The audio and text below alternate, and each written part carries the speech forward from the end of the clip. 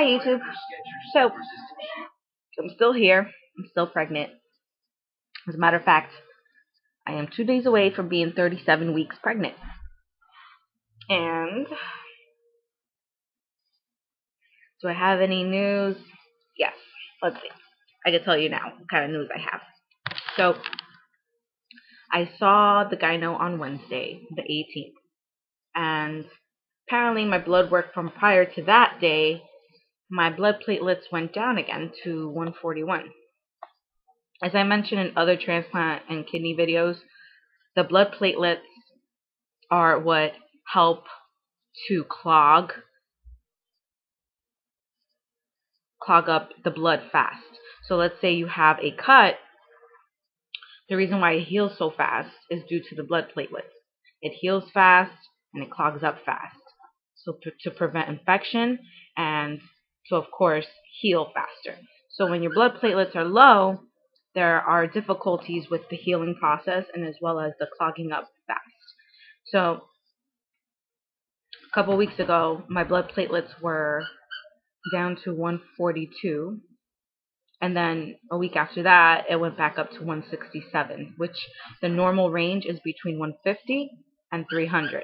So once again, they went low again, down to 141. So I got blood done on Wednesday, but they haven't called me back. And I'm thinking the reason they haven't called me back is because it probably went back up, which is great. I want that. So they're they're just gonna keep monitoring me weekly, which is what I've been doing. Anyway, so I've been having weekly checkups still, and um, I see my gyno again on Friday. My last day of work is on Friday, which I'm really excited about. I make 37 weeks this week, so I'm like two weeks away from having to give birth since she wants me to give birth at 39 weeks. And the reason for that is because I might have mentioned this already in my previous videos, but she wants me to give birth at 39 weeks because she doesn't feel that I need to continue on from that point so that the function of my kidney does not decrease. We don't want to risk that. So my kidneys have been doing, I mean, my kidney transplant has been doing fantastic. The creatinine has stayed at like 0.8. So no complaints there. Um, aside from the blood platelets, everything else is fine. My blood pressure is still very low because uh, I've suffered from hypotension, which is low blood pressure, since I got the second transplant, since I got this kidney. So it's still been low.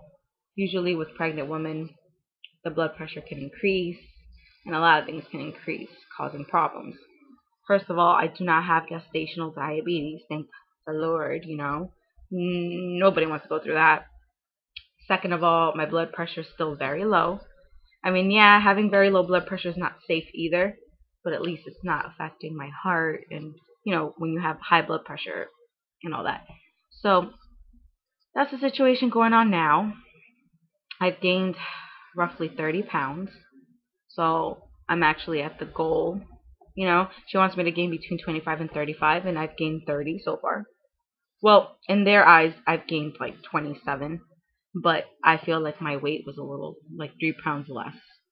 But anyway, between 27 and 30 pounds I've gained. And that's good. And the reason why I haven't been gaining much, as a matter of fact, the last two weeks I've gained like a pound and a half.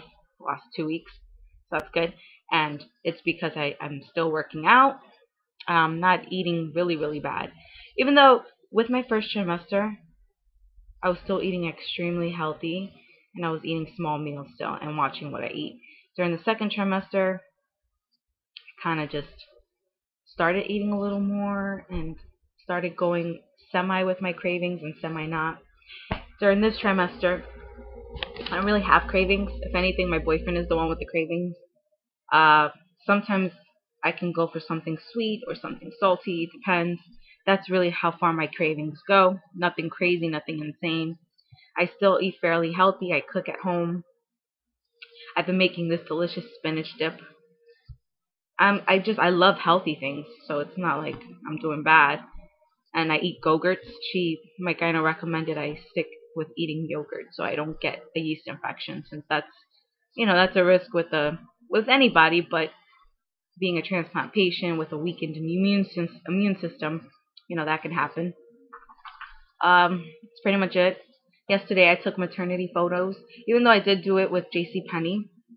Um, as you guys may know, I work at a daycare, and one of the parents is a professional photographer, and he is fantastic. So yesterday we did maternity photos with him, and it was so fun, so fun. And I love his daughter. I had his daughter last year in my class, so his daughter is just amazing.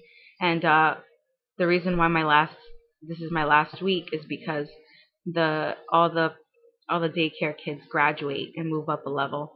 So it's going to be really nice to see them graduate. On Friday is the graduation, which is the 27th.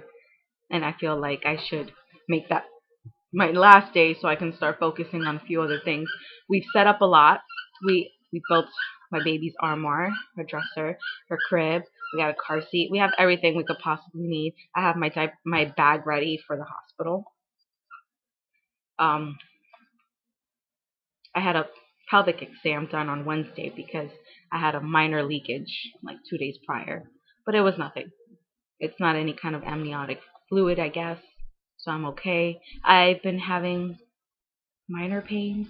As a matter of fact, yesterday was my first kind of intense pelvic pain. Or I guess what you would call Braxton Hicks. I don't know.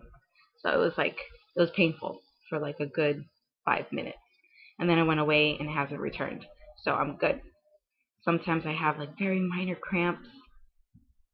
I don't really have back pain, and I think it's due to me working out. So it's it's really tough to determine what's going on with me because I I feel like I take pretty good care of myself. I bought a a waist trimmer by Ace.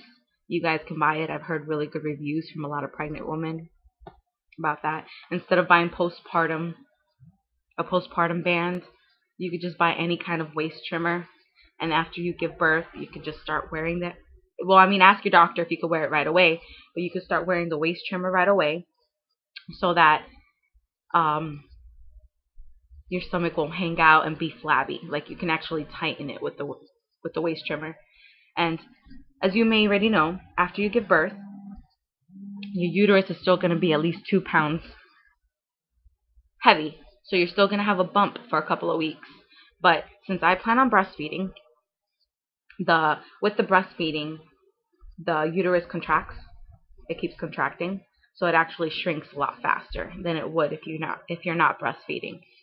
So I have my waist trimmer, I have my nipple cream because they say if you're gonna breastfeed, get prepared to put those things because the cream will help ease the pain. The the the the cream will help prevent the chapping of the nipples. So we don't want that. I have pajamas. I have um, newborn clothes for when she leaves the hospital. I have uh, I have her socks, I have mittens, I have a blanket, so when we take her out in the car seat. Sanitary pads are very important to have because, I mean, whether or not it's going to be a vaginal birth or a C-section, I mean, nobody ever knows what's going to happen, but just have those sanitary pads ready because if it's a vaginal birth, you're going to need that for a couple of weeks yeah, I've done plenty of research, so I know what's going on. Anyway, so uh, I'll talk to you guys again in a week. I'm feeling pretty great, pretty fantastic. I'm about I'm about to work out now. So you guys stay safe. God bless. If you guys have any questions, I'll try my best to answer. You know, I hope these videos have been very successful for a lot of other people because I mean, I'm not the only female transplant recipient out there who was interested in getting pregnant and going through the high risk pregnancy. So I really hope this can be useful for other women out there who are going through the same thing I am. But honestly, for me, it's been an easy pregnancy. It's all about taking care of yourself. And prior to being pregnant, I was a workout buff. so this is kind of something that's been a blessing for me. And I thank God every day for being very, very healthy for someone who's not exactly healthy, healthy, you know? So, once again, God bless you all. Thank you for watching my videos. I'll see you again very soon. Hopefully in a week I can post something. If If I take long, I might have had my baby already. But I'll even post after and show you what's going on. All right? So, mwah, love you guys.